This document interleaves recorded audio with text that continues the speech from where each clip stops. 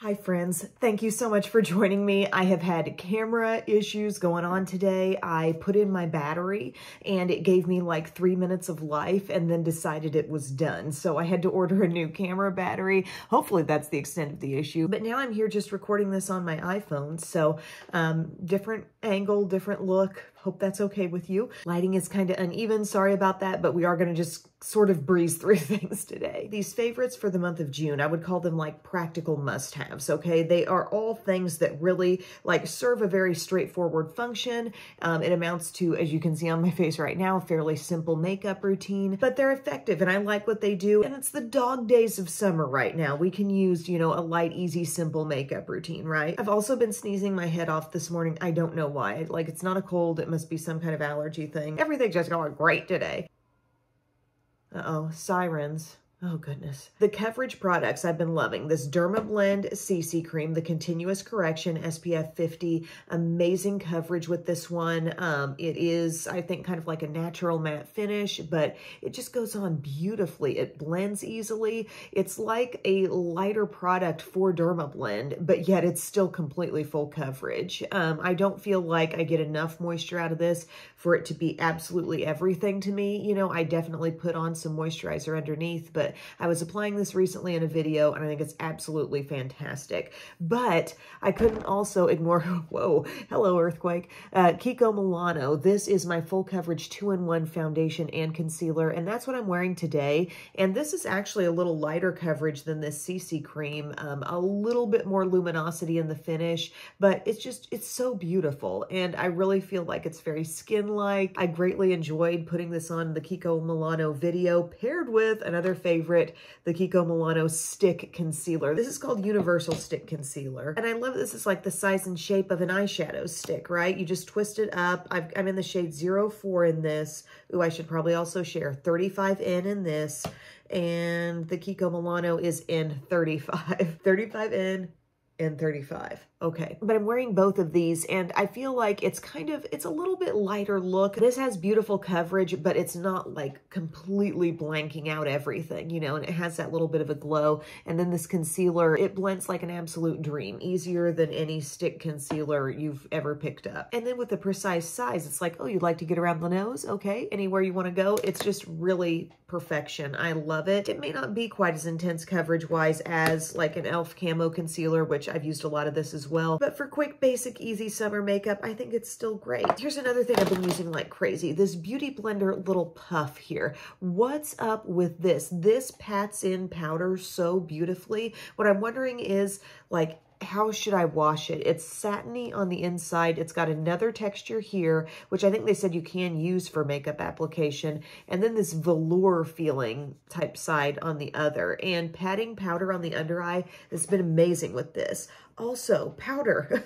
this Dermablend powder is freaking invisible. Like, I just have this sample size of this. I've had it for quite some time, but I started using it a little more recently. I guess this caused me to think about it. And it is truly so undetectable. Like, I've really been loving the Urban Decay loose powder, the all-nighter loose powder as well. But this is really good, too, if you, if you just want a quick set of the T-zone. Like, what I mean by undetectable is it mattifies and it takes away, like, tacky texture, but you truly cannot see this powder at all. It's really good. I love it. Here's a blush that I think is so, so pretty. It's from MAC and it's Sweets for My Sweet Extra Dimension Blush. It's the kind of blush where you put your brush in, okay, it's kicking up absolutely nothing. You know, it's not a really soft formula to put your brush into, but then you put it on the cheeks and it's like, okay, it's got so much glow infused in it and that rosiness. I really, really like this blush. And in the spirit of staying power, you know, we're talking being practical here, having long wear. I will layer it over any cream blush. Like today, I use the RMS Beauty Lip to Cheek in Lost Angel. Just anything that gives you a little more texture on the skin to work with. You could even stick one of those putty blushes from e.l.f. on your cheeks and then top it off here.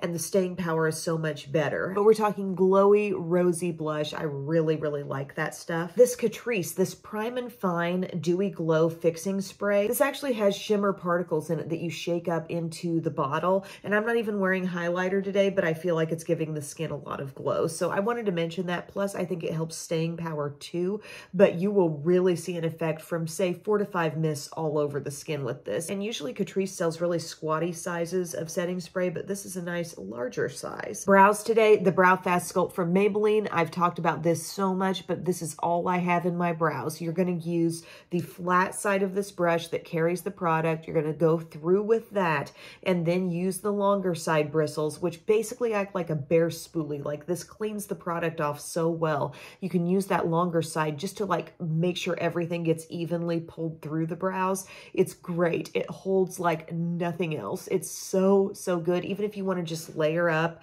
um, on top of any kind of pencil that you love using every day or a pomade or whatever, this is a great last step or it can be like today for me, the only step. Also, Clinique Duos, Day into Date. I have a full video talking about this eyeshadow duo and how wonderfully basic it is, but how beautiful it is for actually day into night if you want it to be that way. It's got this pretty like rosy plummy brown. It's so gorgeous. And then this shade like absolutely glows. The textures are really special in that they're not complete matte. They've got just the teeniest bit of a sheen to it, like kind of a satin finish, I'd say. I guess that's what it's closest to, even though maybe it seems a little more matte than that. But I loved using this in that video. I thought the eye look was gorgeous. This shade shears out so beautifully in the crease, um, outer corner, smudgy liner. It's probably my favorite duo I have because I've gone on a rampage with these duos. I've got quite a few others like six more.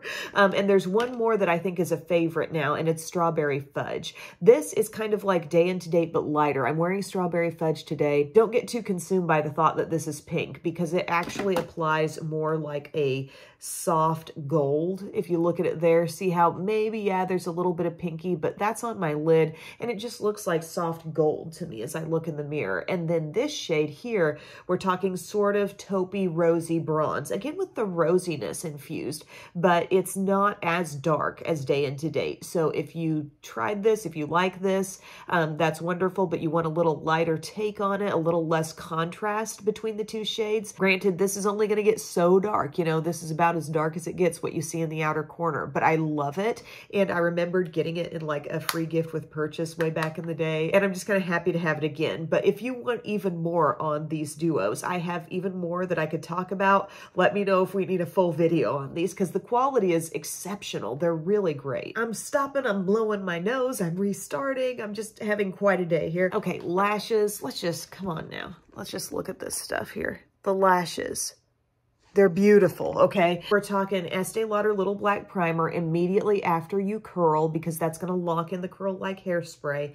And then the Essence Lash Princess Sculpted Volume. If you have any issues with this flaking, top off with another, top off, top top off with another coat of the little black primer. It acts like a seal for things. So this is well worth your money just to have this and use it with any of your mascaras, but it really like Oh my gosh, I love it with this. Sculpted volume, really like I talked about this in my um, bite-size review video talking about some drugstore gems. This is the closest thing to superhero. It builds up darn near as fast as superhero does. Um, the only thing about it is the curl holding. That's why it sometimes needs the partner. But if you have sparse lashes, you don't want to be taking tons of time to rake through over and over again because that makes the lashes stick together. So you want something that bulks them up quickly and that's exactly what this does better than than any of the other Lash Princess mascaras. Finally, guys, what I've been doing for lips is kind of like starting off, like after my skincare, I've been using this Buxom Plump Shot, which is a beautiful product. Um, it feels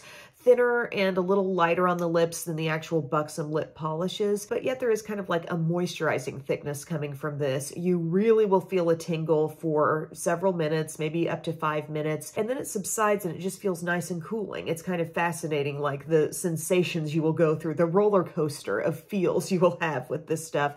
But by the time I get to the end of my look, like I've done all my other face steps, I pop on just a lip liner on top and it's the easiest thing ever, but I've got moisture and I've got this pretty like rosy color. It's Revlon Raisin, y'all. Revlon Color Stay. Um, I'm sorry, I've been wiping my nose. I've probably been wiping off some lip color. But it's so pretty. Somehow it takes your look up a notch to a little more glam place. But use any lip liner you like. And um, I find the lip liner stays wonderfully, but I've got beautiful moisture under there as well. So that's my favorites, guys. Shot in a really unusual way. I'm sorry to have to do it like this. I felt like I was rushing because I'm, again, with clips, getting all these clips onto my computer. I don't often do that except for vlogging, and I know that it takes a while while. Thank you for bearing with me. We'll be back to normal soon. Um, maybe you like this background. I do kind of like the chair and the lamp and the mirror and stuff. Um, maybe this was God's way of exposing me to a new backdrop. But thank you guys so much. I will see you again very soon. I love you. Bye.